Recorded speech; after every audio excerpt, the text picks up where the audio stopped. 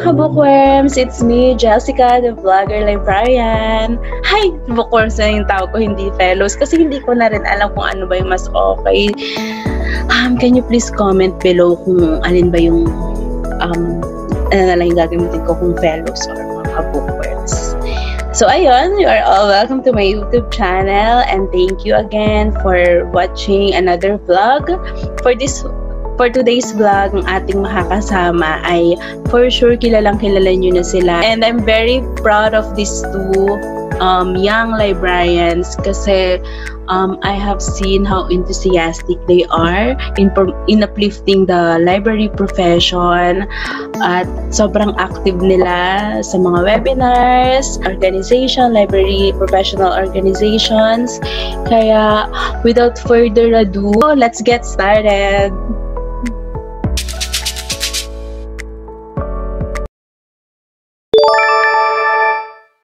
Finally! Yeah, congratulations! Ito talaga, ito na talaga. Congrats, ate. Oo, Pero, nako, may pleasure naman at dahil nakasama ko ang uh, ang mga young librarians na talaga namang gumagawa ng tunog ngayon sa librarianship field. Thank you so much for accepting my invitation. Please introduce yourself. Magandang araw po sa ating lahat. It's a privilege to be here. Um, I'm Kevin Conrad Titan Songko. I'm a product specialist for library management and security solution of Electronic Information Solutions Incorporated. That's my work since graduation. Uh, and at the same time, because advocacy, we need more advocacy, I'm the founder of Magbasa Tayo movement. So that's me. I'm Ken the Librarian. Thank you, Ate Jess. Thank you, Kevin, sa napakasayang introduction at napaka, o, di ba, unang-una pa lang napaka-encouraging na. Okay, it's your time to shine, Miss Rowana. Um, I am Rowana Marie Flores. I am currently a Reader Services Librarian at De La Salle University, Manila, Philippines. It's my uh, fifth year as a librarian.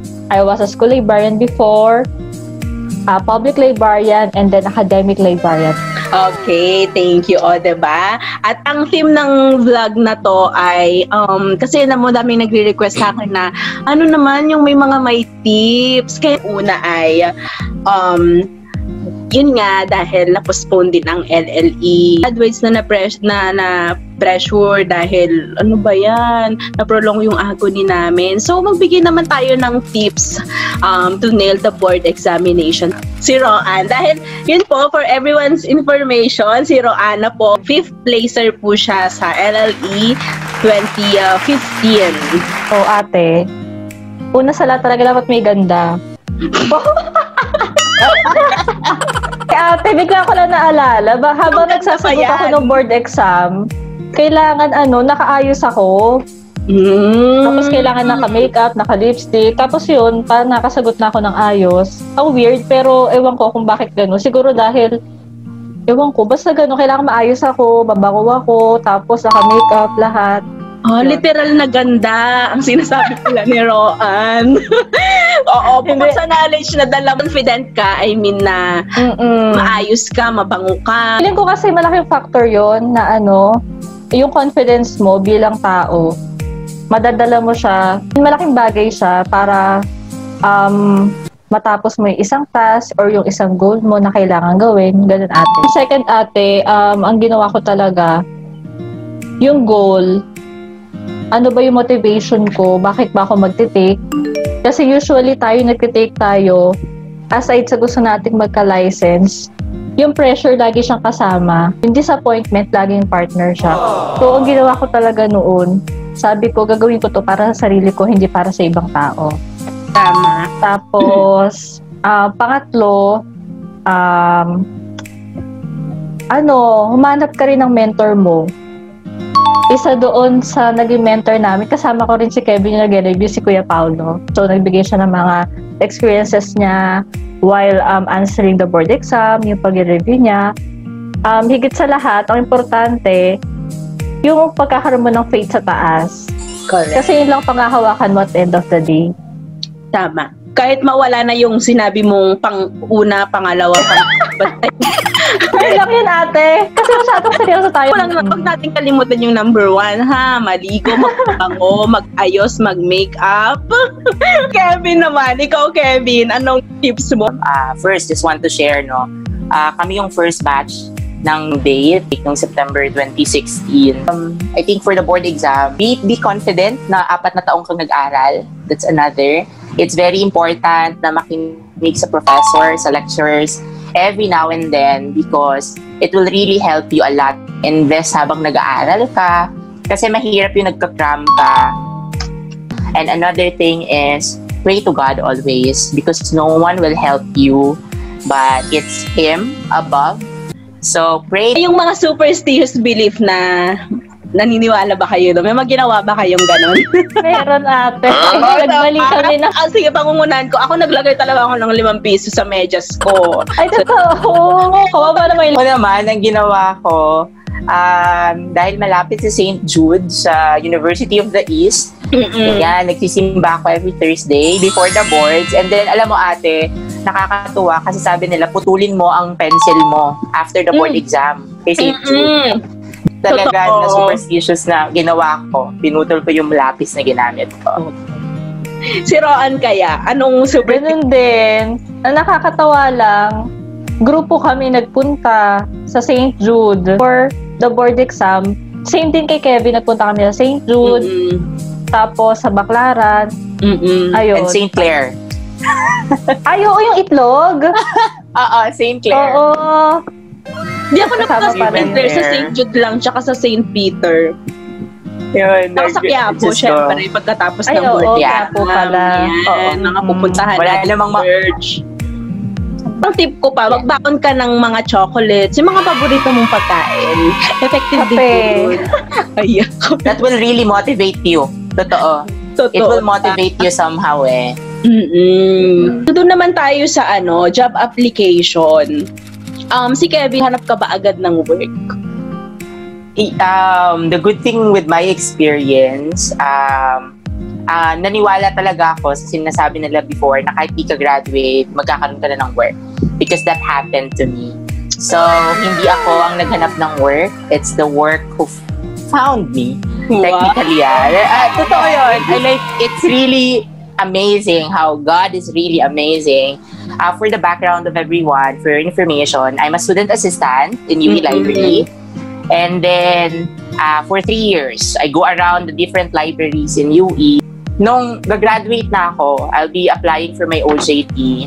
This company that I work right now looks for librarian. So, ganun siya. Like, grabe, sabi ko, wow, it's amazing. Oh, like, pero may mga process pa rin nagdaan na may mga uh, interview pa rin, may examination, yeah. or... Complete exam and interview ang ipapasa mo sa work ko. It's even your presentation skills. So, that's one. Yun yung pinaka-last. The interview lang noon, unang-una na tinanong sa akin talaga, are you willing to travel? Like, sabi ko, bakit po travel? I'm applying for a librarian position. Hindi ko naman kasi alam ang background before ng work. So sabi ko, uh, yes, why not? Uh, everyone loves to travel. So at that time naman, hindi ko naman iniisip yung travel na, ini na sinasabi nila. So sabi ko, yes, I, I, I, I am willing to travel naman. And then sabi niya, because that would be your main work, to visit libraries. So sabi ko, ay, masaya to. Like, amazing. Again. Masaya yan talaga. At kapag tayo dito ng mga na, na travel na napuntahan na ni Kevin na libraries abroad. Uy, Roan, kumusta ang iyong naging trabaho at job application naman? May mga pinagdaanan ka pa rin ba na kahit na top 5 ka na, talaga namang nakikipagbunuan ka pa rin? Same nung sinabi ni Kevin ate, kasi pagka librarian ka, parang automatic na yung trabaho yung hahanap sa'yo, hindi ikaw yung maghahanap mismo. Kasi sobrang daming um, nangangailangan ng registered librarian ngayon and yung population ng librarian is kakaunti. Yung ratio niya is kulang sa ngayon. Pilipinas pa lang yung pinag-uusapan natin ha. Paano pa sa ibang bansa? Which is, um, narinig ko mas preferred ng um, foreign employers yung work ng Filipino librarians dahil nga sobrang focus natin sa work at maayos tayo magtrabaho. Yun ate. Ang isa lang sa mga natutunan ko is uh, just be yourself.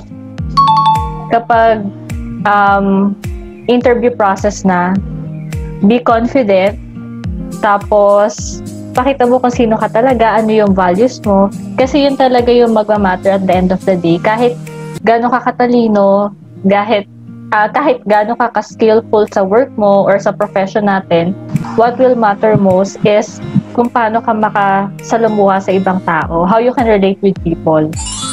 Yun at. Tama. ako may may interview tips ako.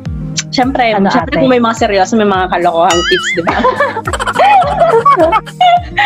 Una, agahan mo, huwag kang magpapalit kasi it reflects your behavior at kung paano ka magtatrabaho, kung paano ka nila magiging employee. Oo. That's Pangalawa, aralin mo yung job description. tama.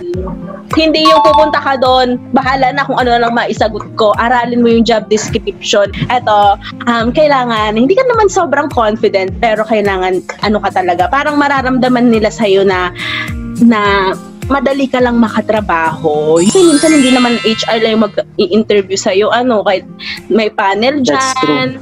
Mahalaga na iparamdam mo na um, okay ka. Ngayon kasi na technology driven na tayo, like what happened to, to the pandemic, pero matagal na siyang uso din. I Mm-mm. think right now, it's your time also to build your social media network very professionally, like your, especially if you can have LinkedIn, LinkedIn account, the better. Kasi yun na yung pinaka-resume or curriculum vitae mo online. Correct. So, HR, kasi even HR ngayon ay nagbabago na ng landscape. So, technology-based na rin sila. And the same thing, even your Facebook, because that's the easiest way para malaman nila kung ano yung background mo, what do you do, something like that. Meanwhile, Formal pala ang ano natin. ano formal?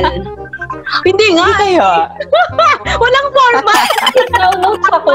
Ito naman, kantuhan lang turoan. Hindi naman ito ready. Hindi webinar. ako nakapag ano. To continue, thank you Kevin at Sige. na-mention mo rin yung LinkedIn para din magkaroon yung ating mga fellows na um, mag-create na po kayo ng, account, ng account sa LinkedIn kasi um, okay siyang platform para din makapaghanap kayo ng job, makapag-build kayo ng connections. Papunta naman tayo sa dahil hindi naman maikakailan na very advocate talaga itong si Kevin at saka si Roan. Ano na si Kevin na na, oo, Lalo advocacy. Mm-mm, ang kanyang I am mad. I salute you. Even si Roan, I think she's Salamat. starting na rin. Ano yung mga tips or mga steps para makapag-put up ng um, ito successful na um, community organization o kaya yung mga volunteer organization? Si Roan. Ako naman, namulat lang din kay Kevin. Si Kevin kasi yung nangungulit sa amin, Uy, attend kayo dito sa MAD, mga ganun-ganun. Ngayon, pinaka-advocacy ko ngayon is yung um, inclusivities, particular, particularly sa PWD. Oh, lalo na sa deaf community natin. Kasi, di ba usually yung mga PWDs natin, sila yung marginalized, isa sa mga marginalized sector ng um, society natin. So, merong mga prejudice about them na usually hindi naman totoo. At sa mga nakita ko, na interview ko personally one-on-one, sila pa yung may mga kaibang talent, sila pa yung nasa magagandang work ngayon. Tapos hindi mo ina-expect na sobrang skillful nila. So, yun yung mga bagay na dapat mabura natin sa society natin. Part ko yung isa rin sa nagpamulat sa akin, yung Hard of Hearing Group Philippines. Meron silang Facebook page. Ito yung mga um, hard of hearing individuals kasi usually na-incorporate sila sa mga deaf eh hindi naman. Kumbaga um, medyo mahina lang yung pandinig nila.